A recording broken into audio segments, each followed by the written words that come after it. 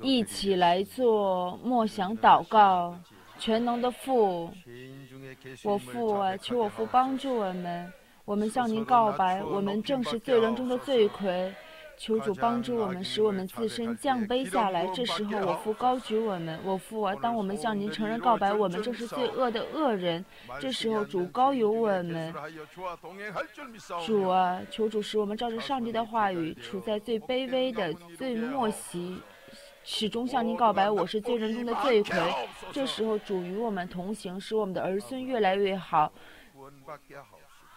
主啊，求主赐福于我们每个人，使我们每个人拥有晚年的祝福，使我们每个人拥有幸福的家庭。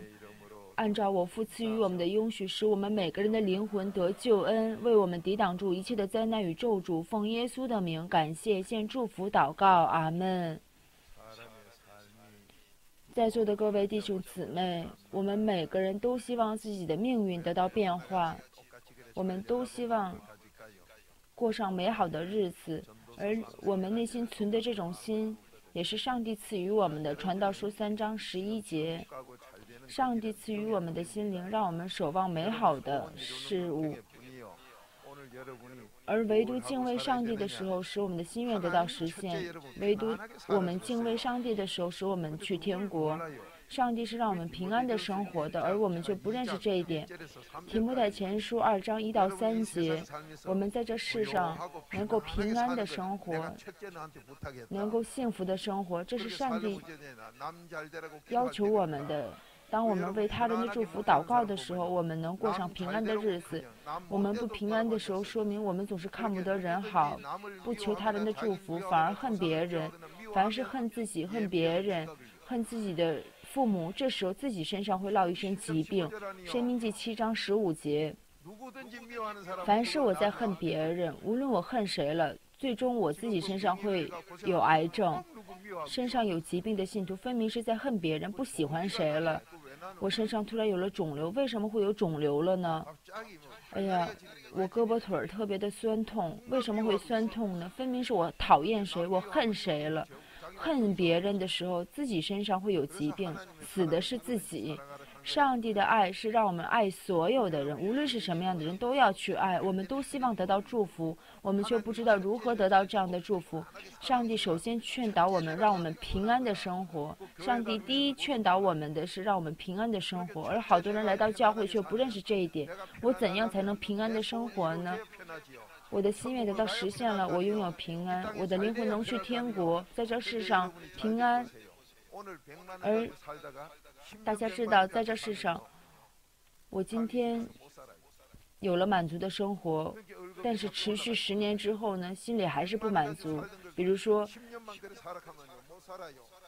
我十年以来工资都是一万块钱，那么。一直持续这样的状态就不开心了，希望自己能涨点工资。而约瑟呢，一分钱工资都没有，而却献出生命来献忠心，结果成了一国的宰相。约瑟怎么会有这样的心灵呢？因为耶稣存的是耶稣基督的心，全为他人的益处着想。我们如果总是在分，这是我的事儿，这是别人的事儿，我就大概大概的做吧。这时候不可能成功的。路加福音十六章十二节，无论我在做什么事情，我随随便便大概齐大概齐做的时候，一定是走向败坏的。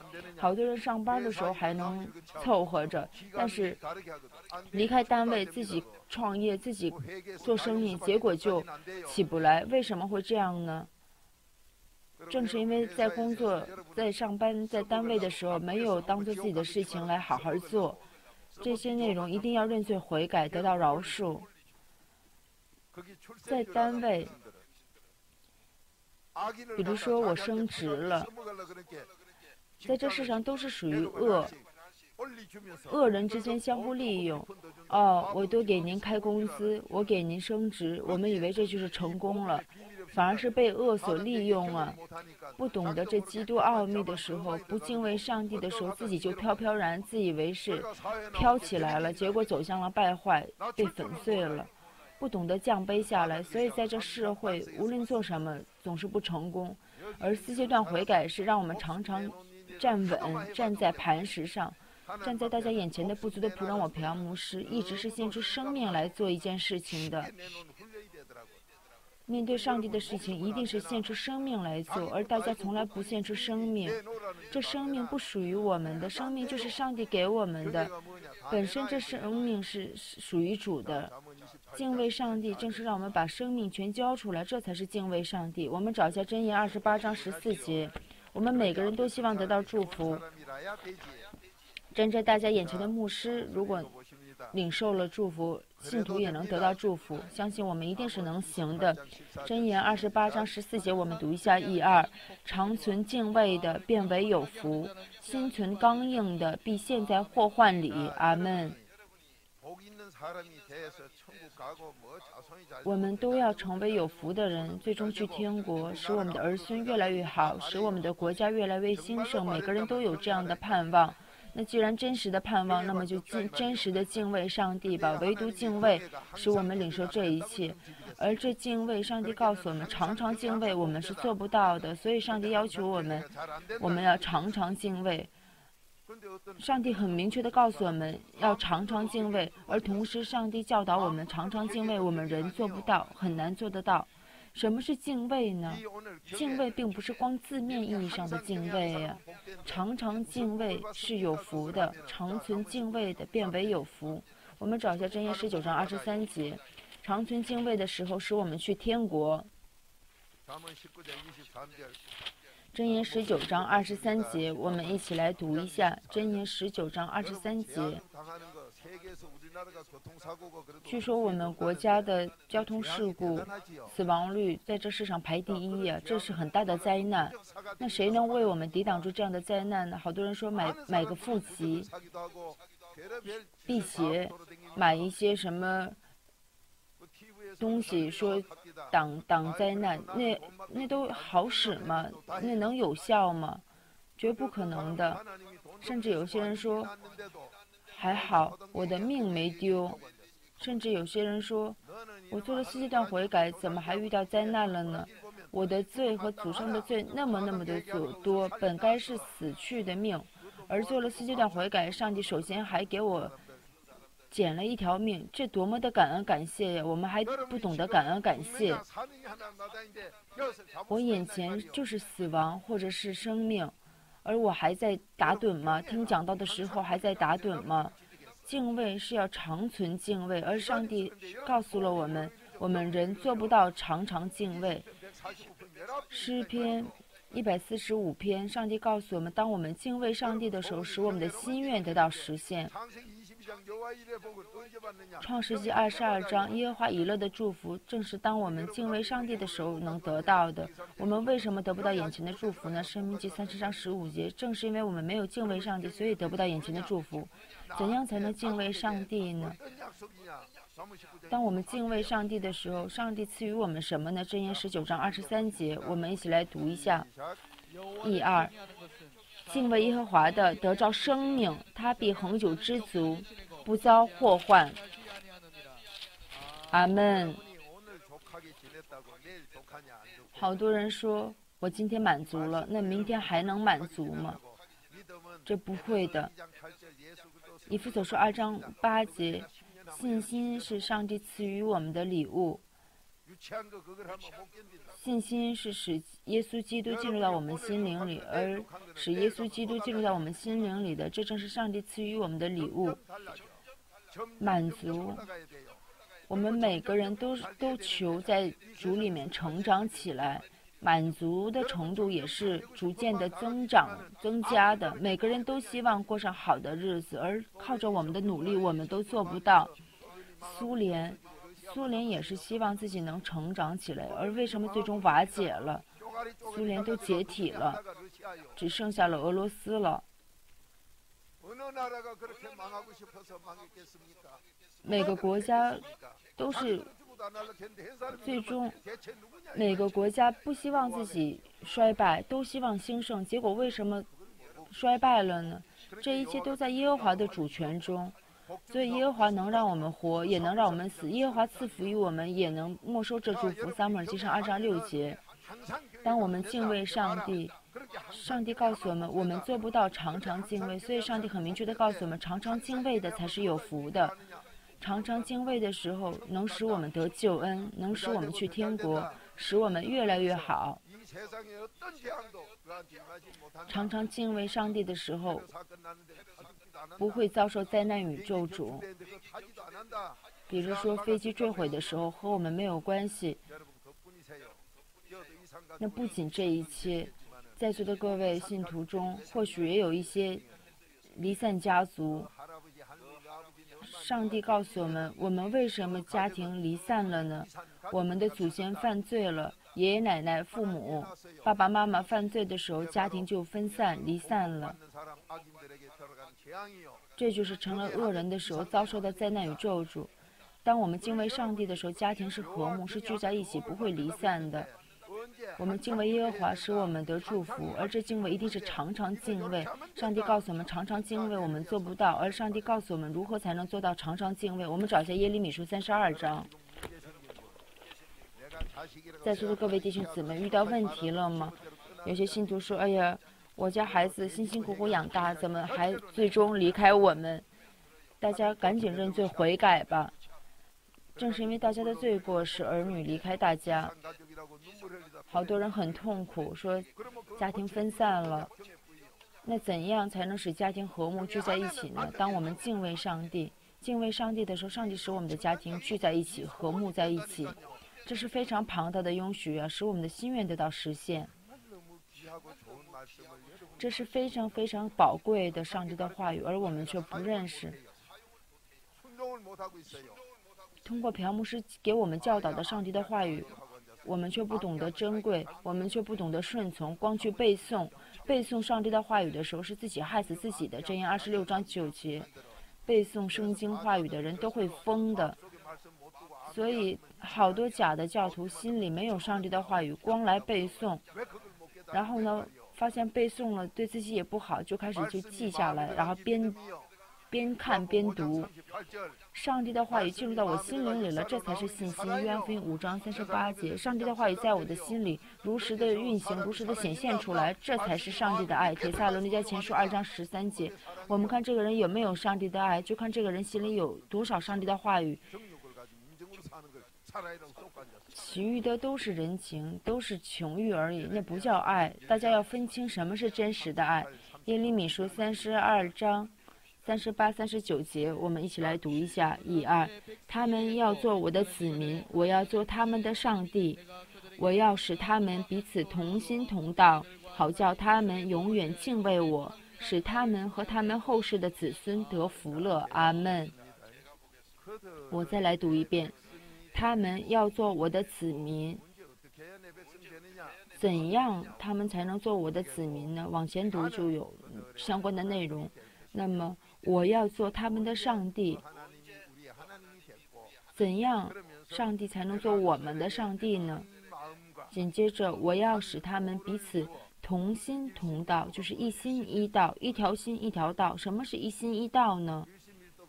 这同心同道是什么？同心同道就是信心，正是耶稣基督。大家知道，当我们读旧约的时候，如果缺少了基督，就成了假的。格林德后书三章十四节。在座的各位一直以来听的都是假的讲道，听假讲道听的太多了，所以不分辨。听了假讲道是会死的，这太心痛了。上帝告诉我们，什么是一条心呢？我们先找一下以弗所是一章十节，基督使我们成为一条心，一条道，同道是耶稣，耶稣是这条道路，一心一道就是耶稣基督，耶稣基督正是信心啊。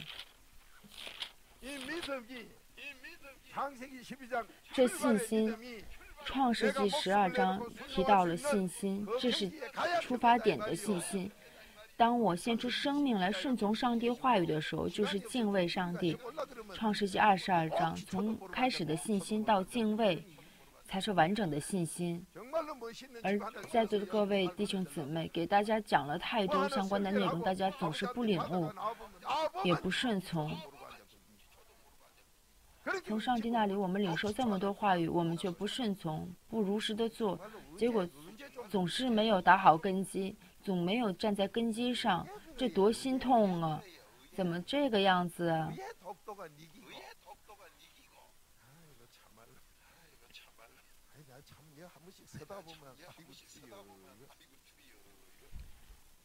我朴牧师有时候真的是很心痛。光我朴牧师领受这么好的话语吗？那如果换上是不好的人，不希望别人好，光自己要好，而上帝的爱不是这样的。上帝的爱是让身边的人更好，使大家比我更好。这是上帝的爱，要把好的一切全分享出去。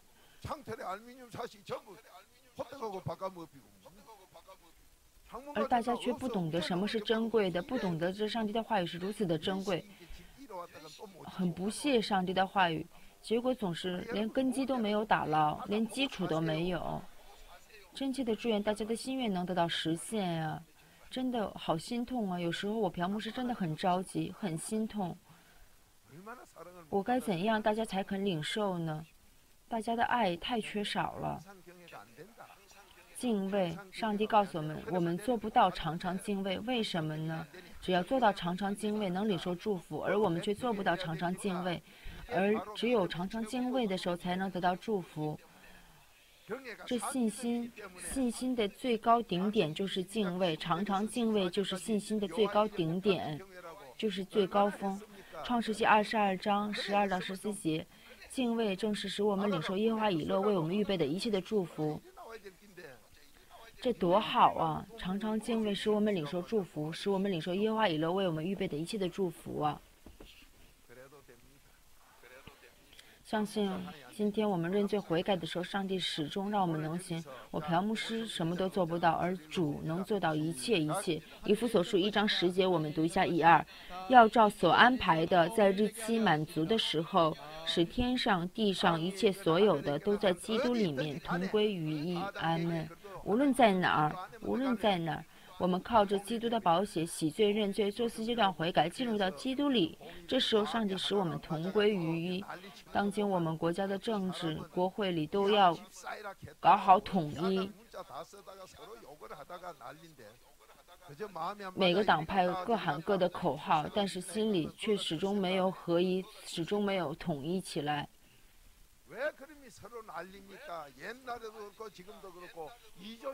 在过去，李朝王室那年代也没有做到统一，现在也没有统一。唯独基督使我们统一，唯独基督使我们合一和睦啊！基督，唯独基督使我们成为一条心。那这条路在哪儿？约翰福音十四章六节，唯独耶稣是我们的道路。耶稣和基督是一体，基督耶稣是一位，基督就是耶稣，基督和耶稣永远是在一起的。提摩太前书二章五节。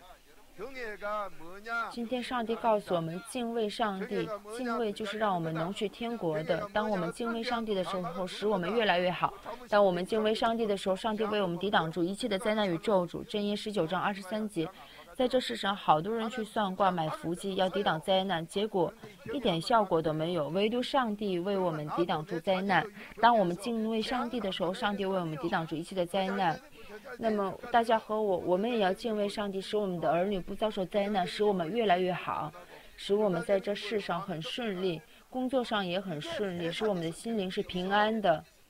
在这世上没有平安的道路，在这世上钱越多，反而担心忧愁也越多。在这世上越升职做高官，那晚上也睡不着觉，很是担心，很是忧愁。而上帝赐予我们的祝福，当我们敬畏上帝的时候得到的祝福是没有担心忧愁的祝福。唯独敬畏上帝使我们去天国。我们怎样才能得到敬畏上帝的心呢？我内心要成为一心一道。这时候上帝使我们敬畏上帝，我们呼喊阿门。我们再回到耶利米书三十二章三十八到三十九节，我来读一下。他们要做我的子民，我要做他们的上帝。当怎样的时候呢？当我们靠着基督的宝血做四阶段悔改，成了一条心的时候，做上帝的子民。上帝在哪儿？上帝是在四阶段悔改里面，《格林多后书》五章十九节。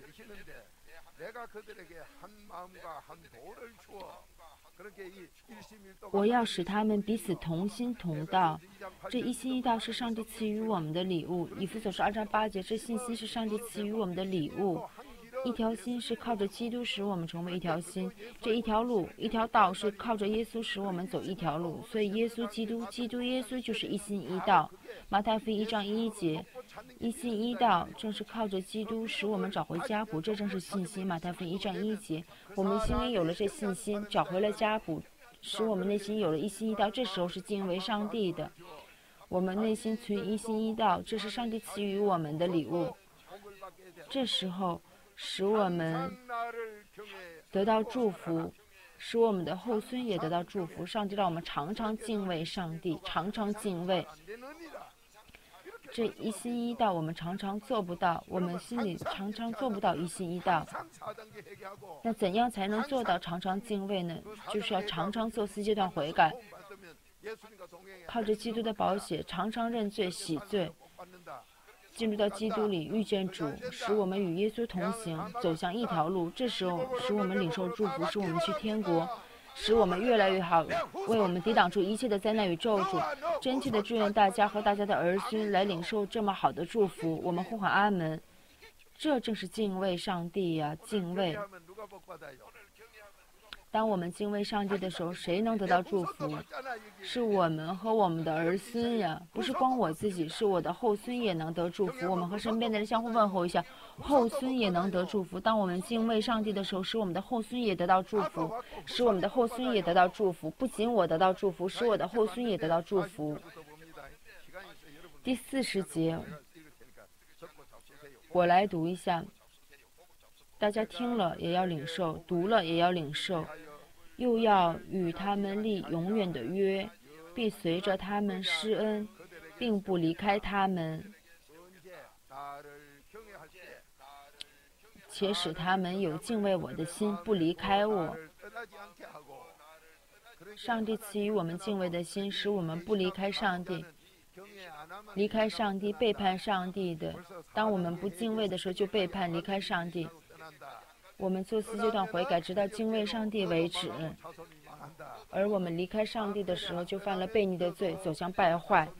而我们不背叛、不离开上帝呢？这时候使我们和我们的后孙得到祝福。第四十一节，我必欢喜施恩于他们，必欢喜施恩啊！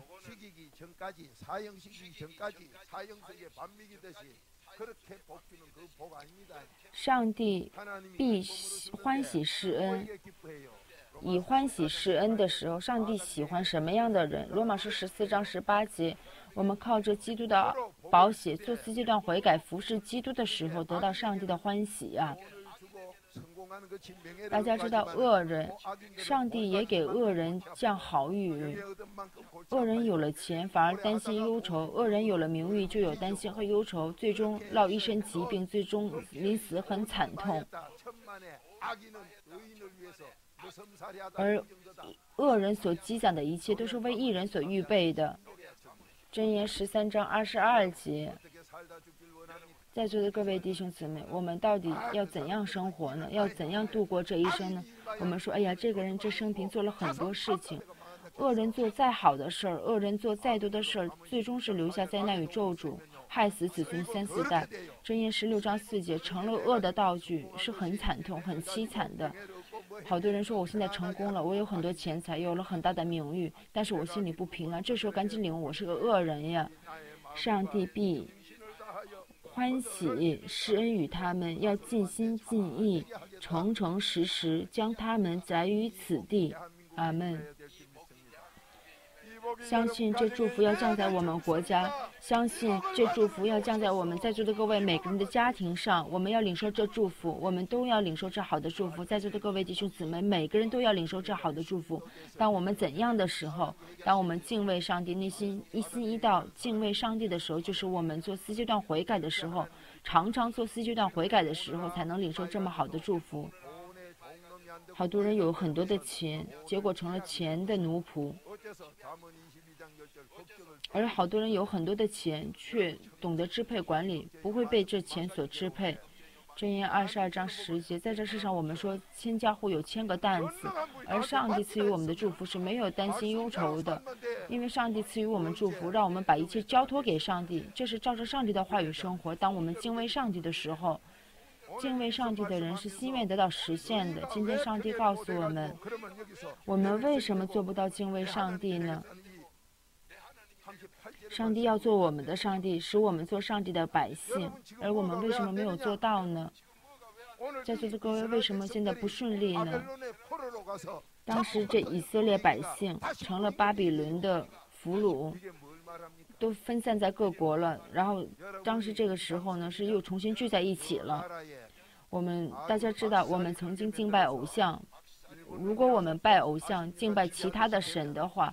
国家就会被粉碎，被其他的国家侵略。好多人当时被日本人侵略的时候，被迫逃到其他的国家。好多年轻妇女，好多年轻妇女，甚至良家妇女都被都被糟蹋了。这一切都是当我们敬拜偶像、离开上帝的时候，背叛上帝的时候。耶利米书三十二章。三十三节，我们来读一下一二。他们以背向我，不以面向我。我虽从早起来教训他们，他们却不听从，不受教训。阿门。上帝赐予我们四阶段悔改的奥秘，上帝给我们传了这基督奥秘的福音，使我们敬畏上帝，使我们和我们的子孙领受祝福，而我们却不听，总是不听，反而背对着上帝。第三十二节也有记录。第三十二节，这是很可怕的，非常可怕的。我们走向败坏，为什么家庭离散了？这时候都是假牧师，没有一个真牧者，都是假教师、假牧师。我们国家遇到很大的危机，我们国家的现实状态，假牧师多的时候。国家就会粉碎，家庭、百姓的家庭都是离散家庭，很是痛苦，很是凄惨。我们家庭离开了，家庭分散了，就不知道是什么原因，甚至我们也不知道我们的将来，我们的后孙会不会成为离散家族呢？第三十二节，大家可以读一下。好多人自以为是个牧师。结果都是假的牧师，假的教师。我朴牧师讲实话，真切的劝勉每一位在座的各位，再加上我们国家所有的做牧者的牧师们，我们要敬畏上帝，要靠着基督的宝血洗罪认罪，做四阶段悔改，一心一道敬畏上帝，而大家却不领受这真实的含义，还听不懂。上帝是让我们在基督里造就起来，而我们连根基都没有打牢，连根基都没有，甚至连基础都没有。唯独敬畏上帝使我们活，而且是要常常敬畏。今天夫妻之间想离婚吗？没有人想离婚。为什么最近这么多人都在离婚了？在一个时代生活，为什么都在离婚、离开家庭，成了离散家族呢？这多心痛啊！父母离婚的时候，这伤痛就残留在儿女身上。为什么会有这样的现象呢？当我们不听上帝的话，上帝给我们讲了上帝的福音，我们却不听；上帝赐予我们四阶段悔改的奥秘，我们却不听。这时候就会离散，成了离散家族，家庭破裂，成了离婚的孩子，把孩子们。心都伤痛了，我们以为这是别人的故事吗？我朴牧师很是心痛啊，这不是别人的故事，这不是别人的事儿，都是我们自己呀。我们要怎样生活才能过上为人的生活呢？我们要敬畏上帝。当我们敬畏上帝，使我们去天国，为我们抵挡一切的灾难与咒诅。而大家为什么不愿意敬畏上帝呢？哪怕现在也有很多人已经家破，家庭破裂。甚至家庭离散了。耶利米书三十二章三十二节，我们读一下一二。是因以色列人和犹大人一切的邪恶，就是他们和他们的君王、首领、祭司、先知，并犹大的众人，以及耶路撒冷的居民所行的，惹我发怒。阿门。做首领、做君王、做祭司、做先知的，都成了假的，不领受四阶段悔改上帝的奥秘，并不敬畏上帝，结果就沦落到这种地步，成了巴比伦的俘虏。在现实生活中，家庭都在破裂，成了离散家族。那么，在座的各位弟兄姊妹，我们应该怎样呢？大家怎么连一点爱人如己的心都没有？不爱人如己，能去天国吗？敬畏上帝，一定是要爱人如己的。我的心愿为什么没有得到实现呢？因为我并没有敬畏上帝。上帝很明确告诉我们：一心一道，我们做不到；常常敬畏，我们做不到。所以，上帝劝导我们，让我们常常敬畏，常常不住的祷告。耶利米书三十二章三十八、三十九节，我们刚才也读过了。上帝是赐福于我们的。当我们敬畏上帝的时候，上帝使离散的家族和睦起来，重新聚在一起。大家如果有时间，可以把耶利米书三十二章全章从一节开始好好读一下。领受上帝的话语就不会离婚。为什么当今的社会这么多离婚呢？为什么儿女结了婚又开始要闹离婚呢？正是因为我们违背上帝的话语，不听上帝的话语，光顾着去听假先知的话，甚至爱去听假的讲道，并不听上帝的话。上帝的奥秘，这基督的奥秘，四阶段悔改，靠着基督的宝血洗罪认罪，使我们存一心一道的心，我们却不爱听。当我们靠着基督的保险洗罪认罪做四阶段悔改的时候，我们和我们的儿孙能领受祝福。耶利米书三十二章四十到四十一节，好多人把孩子们送到海外，说要多寄钱。全能者赐福于我们的时候，上帝赐福于我们，跟随着我们的儿女赐福，我们正确的生活吧。在这短短的时间里，上帝赐予了我们庞大庞大的奥秘。唯独我们内心存一心一道的时候，上帝赐予我们敬畏上帝的心。当我们敬畏上帝的时候，上帝使我们领受耶和华以勒为我们预备的一切的好的祝福，使我们去天国，使我们越来越好，为我们抵挡住一切的灾难与咒诅。我们一起呼唤阿门，来领受这祝福。我们一起来祷告吧。主啊，我们向你告白，我们现实生活中。每个家庭都在破裂，甚至家庭离散，每个儿女身上都带着伤痛，都在流泪，而我们还不领悟。我们还不领悟，还不认罪的上帝就使整个百姓成了敌人的奴隶。我们说是要渴望去天国，而我们却丢掉了一心一道敬畏上帝的心，反而去听假先知的讲道，光去听假的讲道，结果毁了国家，连累了国家，而且还同时在敬拜偶像，敬拜其他的假神。这时候惹了上帝的怒啊！这时候就做。敌方国家的奴隶，主啊，求主怜悯我们，求主饶恕我们这无知愚昧的人。我父啊，我们向您告白，我们真的是连动物都不如，真的是不知羞耻啊！当今再怎么。自以为有威望的人，其实都是在毁自己、毁了国家。求主使我们真实的认识到上帝的话语，使我们常常敬畏上帝，使我们靠着基督的宝血做四阶段悔改，内心存一心一道的心，使我们常常敬畏上帝，使我们和我们的后心领受上帝赐予我们的祝福，使我们得到救恩，使我们越来越好。我们一起来呼喊主啊，来认罪悔改。一二，主啊，主啊，主啊。